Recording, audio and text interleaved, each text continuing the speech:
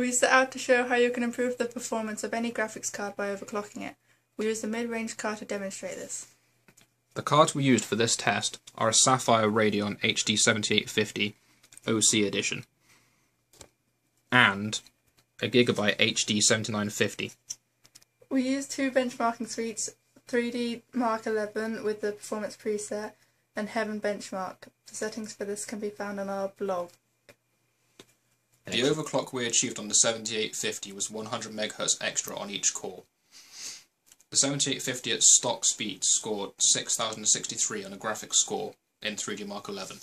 This is compared to 6587 for the overclock card. The 7950 scored considerably higher, getting 8392. This trend was also seen in the Heaven benchmark, where the 7850 at stock achieved an average frame rate of 35.2, compared to 37.7 for the overclocked model.